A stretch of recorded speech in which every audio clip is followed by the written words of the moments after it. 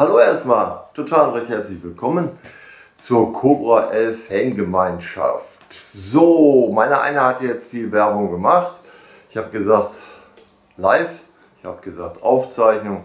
Ich schau mal. Also ich bin gerade kräftig dabei. Ich habe euch ja gezeigt, wie ich am Arbeiten war. Wie ihr merkt, bin ich etwas ruhiger, weil ich bin jetzt fertig. Ich habe also alles fertig.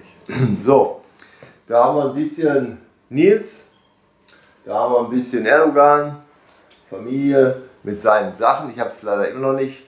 Amazon hat mir zwar gerade auch gesagt, kommt, aber heute in dieser Aufzeichnung ist Sonntag und ich stehe vor der Kamera, weil ich gerne Prashant.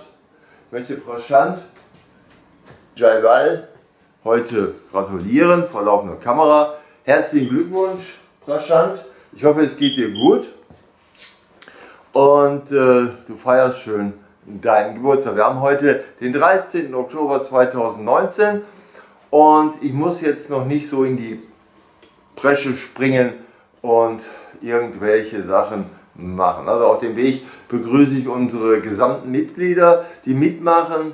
Ich begrüße wirklich herzlich den Nils und Erdogan, der im Moment nicht so viel Zeit hat. Ich bedanke mich vor laufender Kamera für seine Ware. Ich habe ja auch an. Noch einmal hier so ganz kurz, hier so, seht ihr? Cobra 11. Ähm, ich überlege noch, das habe ich ihm auch geschrieben, den Erdogan, äh, ob ich eine Riesenfigur ein ankleide mit seiner Ware. Ja, weil die schön ist. Also die hält warm, sieht gut aus und äh, ja, man ist so ein bisschen verbunden mit Cobra 11 ne? und mit Erdogan. So, Laudatio auf die Serie ist klar, die ist angekommen seit über, weit über 20 Jahren. Das geht glaube ich in, den, in das 24. Jahr und dann mit dieser Pia, die da jetzt die Kommissarin macht, wie sie an dem Tag heißt, weiß ich nicht. Laut Chris, äh, äh, Nils, Entschuldigung, Entschuldigung, laut Nils äh, soll sie Susanne heißen. Keine Ahnung, ob die Susanne heißt oder nicht. Für mich ist es immer noch die Pia. Äh, heute hat er mir da, äh, ich finde die, also Schnitt, ich finde die Videoclips, die Erdogan so hin und wieder auf den Weg bringt, wenn er gefahren wird. Und diesmal war, wie gesagt, Pia mit an Bord. Und in der Eifel haben die sich verfahren. Fand ich super. Also an alle Mitglieder, die also genauso äh, hinterher sind, hinter Gimmicks, Hintergründe. Pia hat ja reichlich schon auf den Weg gebracht. Ja? Der Regisseur hat den Baum umarmt und all solche Sachen. Alles, wovon ich spreche, habt ihr ja sicherlich auf der Fanseite gesehen. So, ich bin euer Administrator. Ich achte nur darauf, dass alles funktioniert. Hauptberuflich arbeite ich ja halt auch mit der Kamera, deswegen stehe ich jetzt davor. So, heute möchte ich noch zum Abschluss noch ein einziges Mal Happy Happy Birthday dir Prashant sagen. Ja, werd glücklich auf deinen Wegen, du hast ja vieles vor. Ja, ähm, hier wie gesagt sind alle, die Fragen wurden gestellt, deswegen stehe ich vor der Kamera und beantworte diese Fragen. Alle, okay, äh, Nils und Erdogan waren noch nicht hier. Ja? Ähm, dafür waren aber sehr, sehr lange hier, seit vielen Jahren, deswegen hängen die jetzt auch hier. Prashant, äh, jetzt habe ich ihren Namen gerade, jetzt ausgerechnet vor laufender Kamera den Namen vergessen, aber egal. Und die, äh, Detlef Scholzen, ja, also kriege ich auch irgendwann mal äh, wieder hin, das müsste ich da hinten hinrennen. Aber wer sie ja erkannt hat, den Theater Courage, weiß jetzt, wer sie ist. Warum ich den Namen jetzt vergessen habe, weiß ich auch nicht. Also ich war ich gut vorbereitet, um diesen Videoclip zu machen. Gut, ich habe jetzt einen Hänger, bedingt dadurch, äh, dass ich ähm, äh, dem Praschant jetzt so oft äh, gratuliert habe. und sie ist also nicht mehr so oft. Sie ist momentan im Hochsauerland. Ja, sie ist im Hochsauerland. Sie könnte, wenn sie es wüsste, dass da gedreht wird für Cobra eben kurz erscheinen. Sie war ja auch mal kurz da. Ne? So. Heute mache ich nicht so lange. Ich wollte nur sagen, dass diese Hintergrundwand oder die Informationswand für die Kunden präsent Überall hängen Informationen. Ich habe euch den Grund ja auch genannt. Wenn Google 360 hier erscheint, dass hier auf 360 Grad abliegt und ihr wirklich So, da muss ich natürlich vorbereitet sein. Ich arbeite natürlich jetzt vom 13. bis zum 19. ganz schön kräftig und äh, die Kunden werden hier auch einiges verwüsten wieder. Das bedeutet, dass ich heute in einer Woche ziemlich früh aufstehen muss, um hier alles wieder sauber zu machen, damit Google 360 äh, auch alles ordentlich aufnimmt. So, jeder von euch kann heranzoomen, kann die Texturen dann lesen ja, und all solche Sachen. Andere Texturen, die überdeckt sind, kann man dann halt nicht lesen, die werde ich auch nicht freischaufeln. Ihr sollt euch wohlfühlen, also tagtäglich sind hier viele, viele Kunden, deswegen schaffe ich es nicht live. Äh, die Frage habe ich somit auch beantwortet, weil Nils mich gefragt hat, ob ich äh, wegen dieser Live-Geschichte ja, ich schaffe es nicht. Ich wüsste jetzt auch nicht, wie viele Stunden ich jetzt hier vor einer Live-Kamera verbringen müsste, wenn ich dann da angesprochen würde. Das, das klappt nicht. Aber ich werde es aber dennoch, ich habe viel Geld ausgegeben für die Live-Geschichte, also auch die 4K-Kamera habe ich gekauft dafür. Nur der Computer sagte zu mir, irgendwie die Kapazität war voll, aus welchem Grund auch immer. So, ich werde jetzt einen kleinen so einen Schliff machen, das äh, so, so ein bisschen. Ähm, ja, für Weihnachten, also Weihnachts, ja, ich weiß, wir sind nicht im Oktober, aber meine Kollegen haben schon mal am 14. September Weihnachten eröffnet. Also ich mache jetzt hier eine Sache. Ich hoffe, äh, die Kunden, die also morgen wieder erscheinen werden, fühlen sich wohl. Ja, also wie gesagt, ich schaffe jetzt, wie gesagt, zum 19. nicht alles. Ich versuche halt nur, dass das hier äh, ja, sauber ist. Ihr werdet, ihr werdet den Prashant sehen in einer Werbungskampagne. Ich habe den, also diese Werbungskampagne habe ich Gott sei Dank abgelichtet, weil die Werbungskampagne wurde entnommen, weil in Hamburg, ihr wisst ja, im Moment hängt das ja alles so in so Seile. Die Kreta hat da so einen Aufschwung. Das mit den Ausländern hat Aufschwung. Also ich kenne das alles gar nicht. Aber ist halt so und deswegen muss auch ich dann immer ein bisschen aufpassen, dass da nichts entgleitet. So, ich bedanke mich jetzt zum allerletzten Mal äh, ja, als euer Administrator, als derjenige, welche der die Gruppe jetzt führt, äh, anführt und ins Leben gerufen mit Chris, mit Nils. Mit Nils und an dem Tag auch mit Erdogan. Also Erdogan war am ersten Tag, also wir haben uns ja unterhalten. So ist es nicht. So, ich hoffe, ihr habt viel Spaß und ich hoffe, ihr kriegt das auf die Kette. Ihr könnt mir ja irgendwas zukommen lassen, könnt mich ja fragen, was ich da machen soll. Mache ich dann. Okay? So, ja, ihr, ihr, merkt, ich bin auch ein bisschen müde, weil wie gesagt, gestern um 8 Uhr bis 20 Uhr hier sauber gemacht, umperformt, die Bühne hergerichtet, die Dekoration hergerichtet. Man muss ja leider auch Geld verdienen. Ne? So, ja. Also dann, meine lieben Freunde, ihr seid auf dem sogenannten Daten-Highway-Kiosk. Ja, dann könnt ihr nicht so richtig lesen. Ne? Und äh, auf dem Daten-Highway-Kiosk wird vieles verkauft. Ja, und vieles gesammelt. So ungefähr sehe ich das. Also das hier zum Abschluss mache ich immer noch ehrenamtlich sozusagen. Ich nehme kein Geld dafür, ich mache alles Mögliche. Ich habe auch einige Entertainer da. Nur wenn ich beauftragt werde, wie die anderen, wie, wie der Oberbürgermeister oder halt andere Gesellschaften, Imagefilm oder so. Ey, das kostet leider Geld. Ich kann also keinen Imagefilm drehen, ohne bezahlt zu werden. Also auch äh, wenn irgendeiner von den Künstlern, die jetzt hier hängen, äh, Ariane, genau, jetzt habe ich sie wieder, Ariane.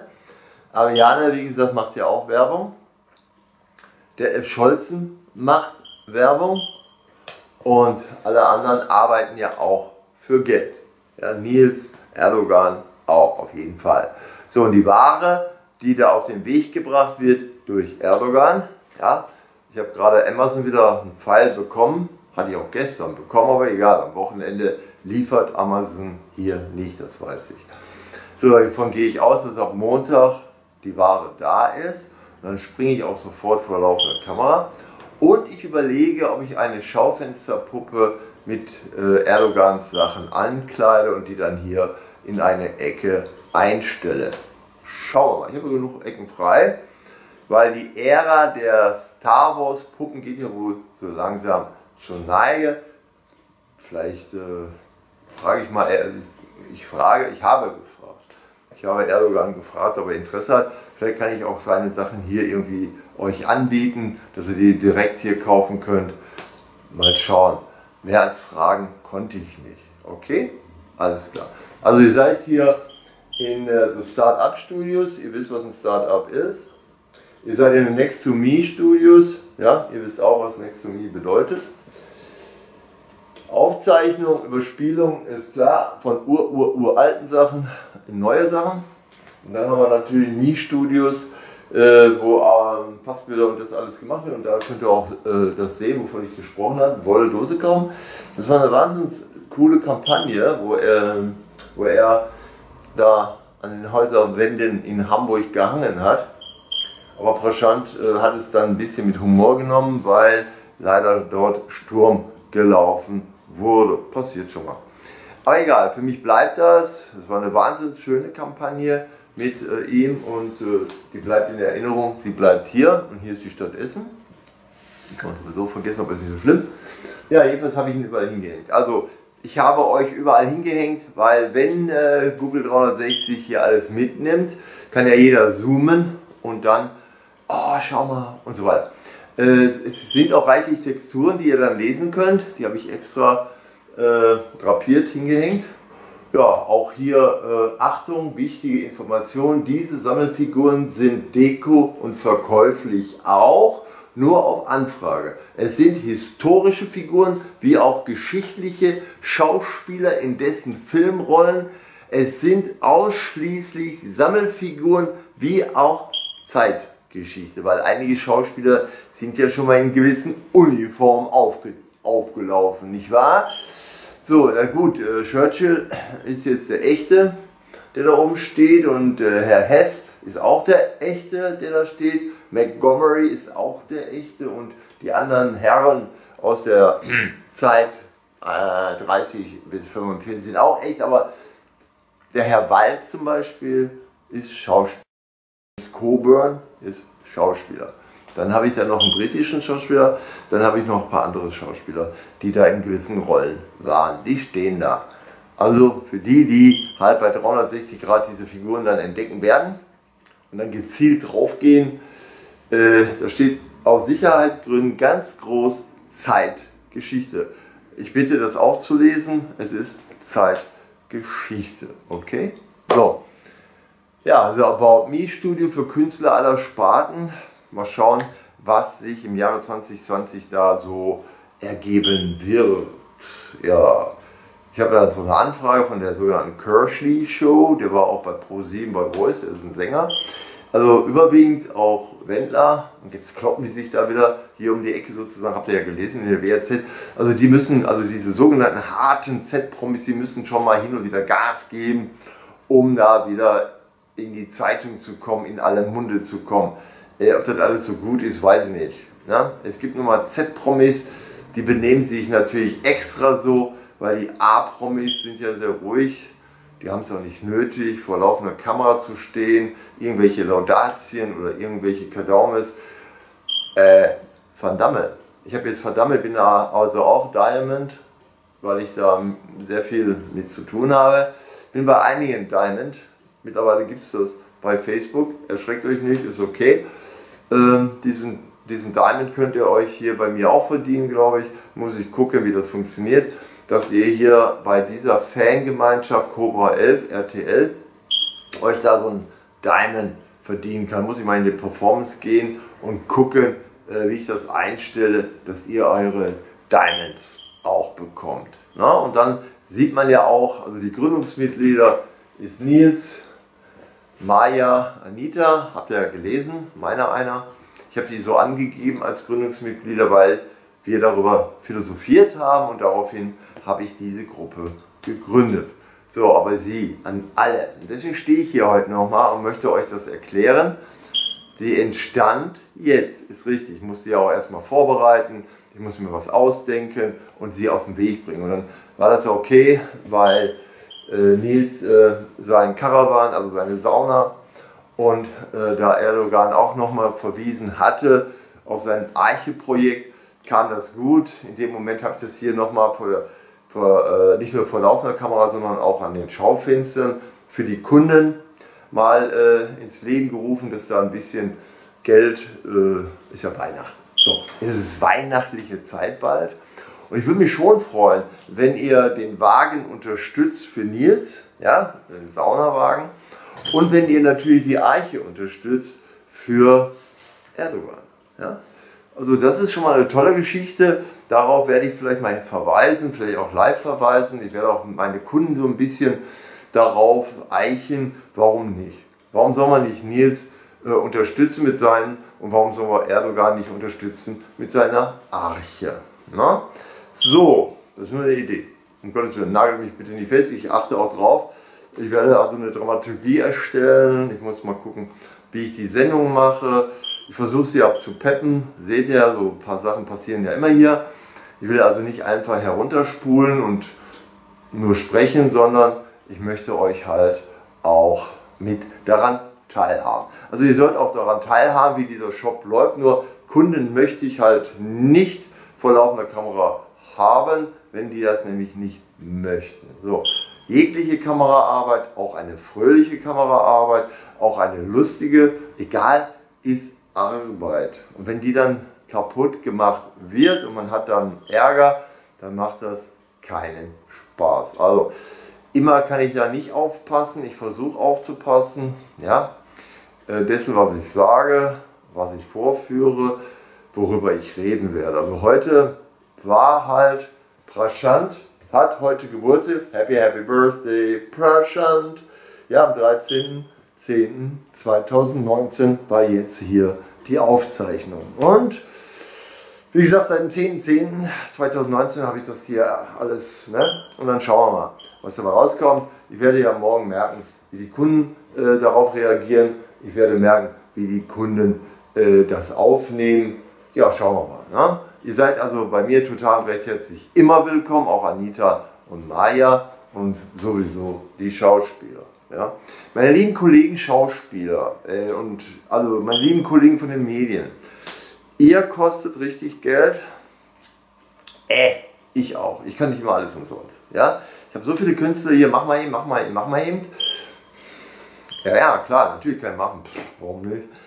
Äh, aber wisst ihr, auch ich habe zwischendurch Hunger und ich muss leider und ihr wisst ja, wenn man das hauptberuflich macht, ist die Welt immer neben einem. Ihr wisst, welche Welt ich meine, der Fiskus und wie die alle so heißen ne? und die Abgeordneten und mit ihren Ideen, Artikel 13 und ne, die, die ganzen Vorschriften und, und, und. So, ich habe mir, das ist mein, das hier ist geschäftlich, privat auf Deutsch gesagt, auch Nelson Mandela, der da drüben hängt, der wird also mich jetzt hier nicht angreifen, weil er da hängt, sondern weil ich also auch viele äh, Nelson Mandela Kunden hier habe. Äh, ist halt so. Und ich habe also auch viele ehemalige Schauspieler hier, die bei euch schon waren, bei Cobra 11, ja, es sind etliche, die hier leben und wohnen, auch Moloch und das alles und Frank Montenbrook und Prashant Jaiwal, ihr wart ja alle da so involviert. So, jetzt habe ich euch begrüßt, total recht herzlich. Ich habe Prashant meine Laudatio gegeben. Sie, möchte, sie möge mir verzeihen, den Namen am Anfang vergessen hatte. Ähm, und ihm helfe ich sehr gerne. Und schauen wir mal. Ne? Jetzt habe ich die Namen nicht, nicht habe ich jetzt nicht genannt, wollte ich jetzt auch nicht. Ich merke nämlich, ich werde so langsam müde, ich muss nämlich nur arbeiten. Ja, ich muss noch arbeiten, auch wenn ich vor laufender Kamera stehe. Ich habe ein bisschen anders. Ich kann, also wie die Schauspieler, die müssen Texturen lernen und ich muss hier für meine Kunden alles machen, damit die das ordentlich bekommen, was sie da gerne haben möchten. Ne? Die Zahlen nämlich, auch wenn es nur 20 Cent sind. Ne? Okay, so ist er mein Showbild. Und jetzt ich möchte euch auch weihnachtlich schon einstimmen, obwohl das Quatsch ist. Wie gesagt, äh, so sieht es dann hier so leicht weihnachtlich aus. An sich wollte ich da oben noch eine Art äh, Dekoration machen von 3 Meter mal 2 Meter. Vielleicht kommt die auch da hinten hin, die äh, 3 Meter mal 2 Meter. Muss ich mal gucken. Ähm, aber äh, da Google 360 Grad hier alles aufnehmen wird, habe ich mir so ausgedacht und habe auch überlegt, ob ich das vielleicht schon mit aufnehme, damit man sieht, wie auch im weihnachtlichen Geschäft, wenn wir auch schon eine Medien, Mediengeschichte sind, ja, das ist eine äh, Kulisse an sich für Tricktechnik. Ja. An sich ist die Kamera dem Tiefer, ihr wisst ja, wie Tricktechnik funktioniert. Das ist eine weihnachtliche Geschichte, die dann da mit Figuren äh, gemacht wird. Jetzt, wie gesagt, nicht. Jetzt äh, ist halt hier, hier wird halt gearbeitet an den Geräten hier. Hier ist jetzt sozusagen die Kopierstraße. Äh, ich sehe gerade im Range, dass man das gar nicht sieht. Okay, gar nicht den Deckel hoch machen müssen. So, wie gesagt, das ist eine Fenstergeschichte, jetzt eine weihnachtliche Geschichte. Ob die Kunden das mögen, weiß ich nicht. Ich weiß nur, dass die halt meine Trick, also meine weihnachtliche Tricklandschaft, die mögen die, ja. Also, wer die schon alle mitnehmen wollte, ja, aber die wollte ich halt für Animationszwecke behalten, weil das eine schöne Kulisse ist, die schön hoch. Da passen also auch die 6-Inch äh, Figuren zu, oder extra spezielle.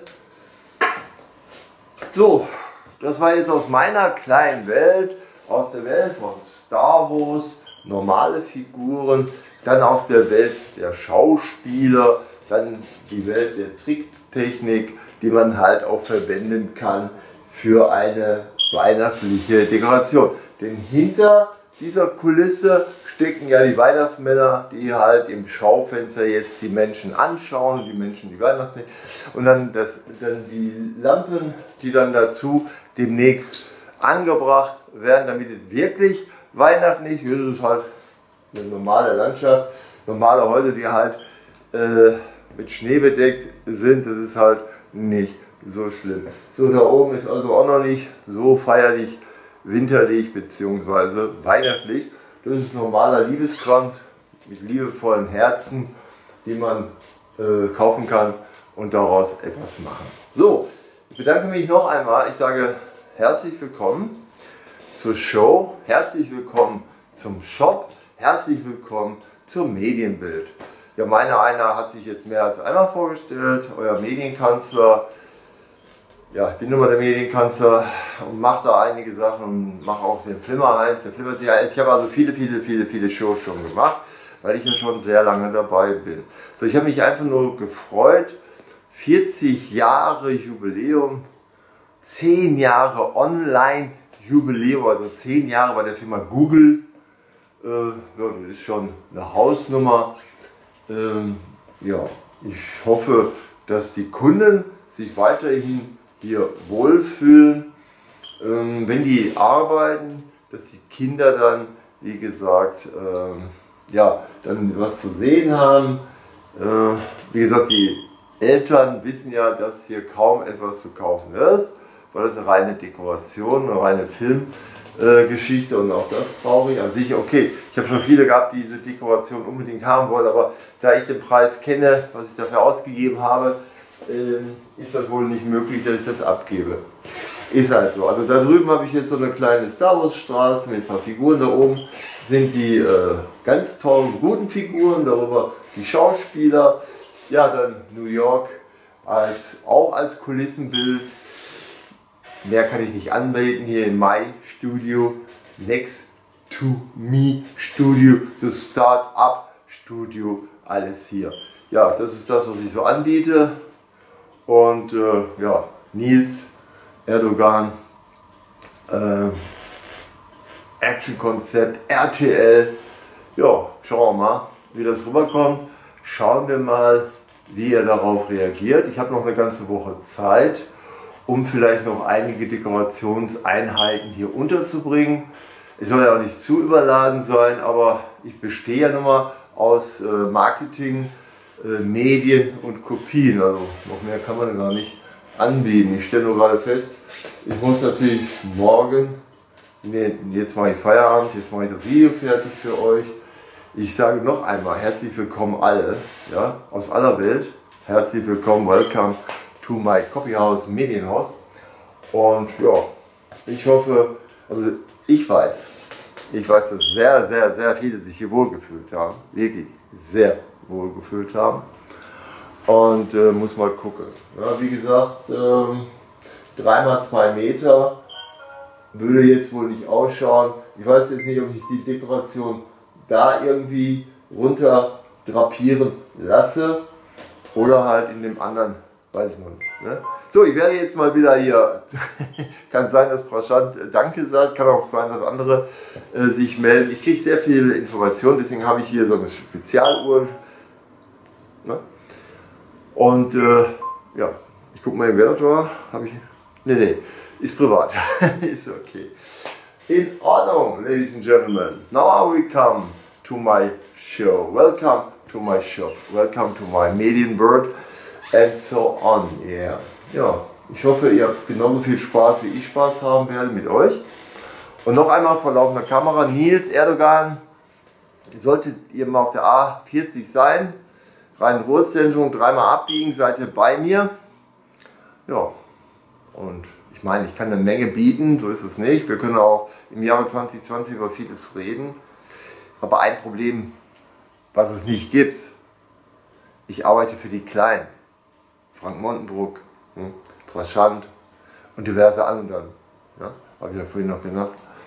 Ähm, ja, also für, für normale Schauspieler normal. So, die jetzt irgendwie einen E-Cast brauchen oder eben ihr Hobby vorstellen wollen oder halt ein Bild brauchen, ja, von sich und so weiter. Dafür bin ich zuständig. Ich habe ein sogenanntes Schnellstudio äh, erarbeitet für schnelle Fotografie, für schnelle Bearbeitung und Cutting. Ja, das ist mein Hauptberuf und deswegen habe ich solch einen Job. So, und jetzt verabschiede ich mich total recht herzlich, bedanke mich obendrein auch noch. Frau Schanf, habt einen Geburtstag, heute ist der 13.10.2019 gewesen. Ihr seid immer noch hier in Frohnhausen, der Stadt Essen, ihr seid immer noch hier in meinem Shop. Ja, halt in dieser Ecke, die nicht so schön ist, aber wenn die Leute hier so arbeiten, wirkt das schon. Also es lockert alles ein bisschen auf und wenn ihr da äh, die Leute so anschaut, äh, ne, Wolledose kaufen, Meat Prussian, ja, Detlef Schulzen und so weiter. Ja, okay. Herzlich willkommen im Datenhighway Kiosk ohne Zuhilfenahme von Maschinen.